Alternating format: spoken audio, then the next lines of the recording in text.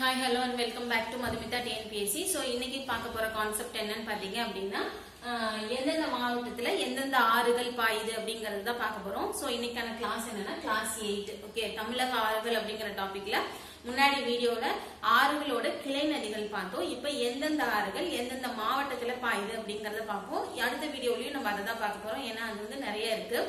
So வாங்க வீடியோக்குள்ள போல இந்த சேனலுக்கு நீங்க புதுசா இருந்தா சப்ஸ்கிரைப் பண்ணிக்கோங்க. வீடியோவை ஸ்கிப் பண்ணாம கம்ப்ளீட்டா பாருங்க. ஓகே சோ இன்னைக்கு வந்து பாத்தீங்க அப்படின்னா ஆஹ், சென்னை அதாவது சென்னையில என்னென்ன ஆறு பாயுது அப்படின்னு பாத்தீங்கன்னா கூவம் அடையாறு பக்கிங்ஹாம் ஓட்டேரி. இது எல்லாமே சென்னையில பாயுது. சென்னையில கூவம் அடையாறு பக்கிங்ஹாம் ஓட்டேரி இதெல்லாம். ரெண்டாவது கடலூர். கடலூர்ல தென்பெண்ணை கெடிலம். இது ரெண்டும் கடலூர்ல பாயிற ஆறுகள். விழுப்புரம் எடுத்துக்கிட்டீங்கன்னா கோமுகி. ஓகேங்களா?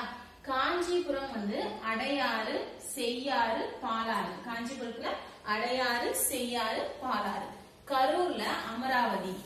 திருச்சியில பாத்தீங்க அப்படின்னா காவிரி கொள்ளிடம். திருச்சியில காவிரியும் கொள்ளிடம். தஞ்சையில வெட்டாறு வெண்ணையாறு கொள்ளிடம் காவிரி. வெட்டாறு வெண்ணையாறு கொள்ளிடம் காவிரி.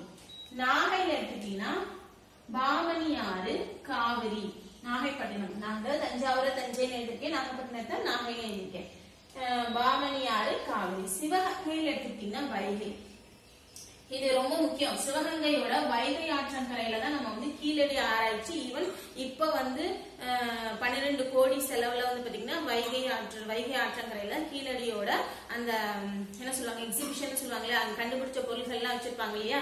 சோ அது சிவகங்கையோட வைகை ஆற்றங்கரையில இருக்கு. கீழடியில தான் பண்றாங்க. எக்ஸாக்டா சொல்ல போனா கொந்தகைன்னு நினைக்கிறேன்.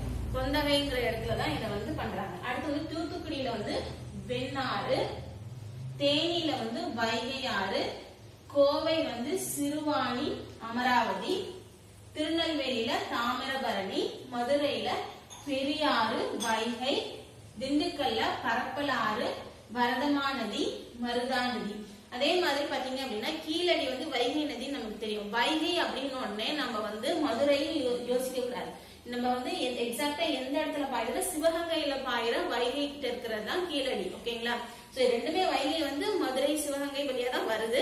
சோ அதுல எக்ஸாக்டா நமக்கான இந்த வீடியோ பொறுத்த வரைக்கும் இந்த இம்பார்ட்டன்ட் கரண்ட் கரண்ட் அஃபேர்ஸ் பாத்தீங்க அப்படின்னா சிவகங்கையோட வைகையில சிவகங்கையில பாயிர வைகை ஆட்டுல இருக்க கீழடி ஆறு தான் சரிங்களா சோ வீடியோவை கம்ப்ளீட்டா பாருங்க. அப்பதான் உங்களுக்கு நிறைய இன்ஃபர்மேஷன்ஸ் கிடைக்கும். பிடிச்சிருந்தா லைக் பண்ணுங்க சப்ஸ்கிரைப் பண்ணுங்க அண்ட் ஷேர் பண்ணுங்க. அடுத்த வீடியோல என்ன பண்ண போறோம்னா இதுல ஒரு கண்டினியூவேஷன் இருக்கு. அதுக்கப்புறம் எந்தெந்த ஆறுல எந்தெந்த அணைகள் இருக்கு அப்படிங்கறத பார்க்கலாம்.